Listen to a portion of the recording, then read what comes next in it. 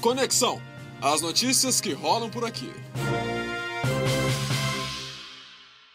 O Uni Santana realizou o primeiro simpósio de práticas profissionais no início de outubro. Durante uma semana, coordenadores de diversos cursos prepararam uma série de palestras, workshops e convidaram vários profissionais do mercado para trocar experiências e contar para os alunos como cada profissão funciona na prática. Arquitetura e urbanismo, ciências aeronáuticas e manutenção de aeronaves, matemática, música, geografia, letras e história foram algumas das áreas que receberam a visita de profissionais cheios de bagagem para compartilhar. O publicitário e empresário Michael Cray Colombo conversou com os estudantes de comunicação social sobre a rotina das agências. Outros cursos, como engenharia e pedagogia, tiveram atividades a semana inteira. Os alunos passaram por diferentes ambientes da instituição, experimentando e absorvendo novos conhecimentos.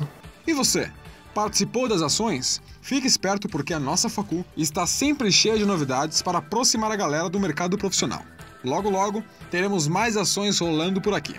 É a Uni Santana mais perto de você.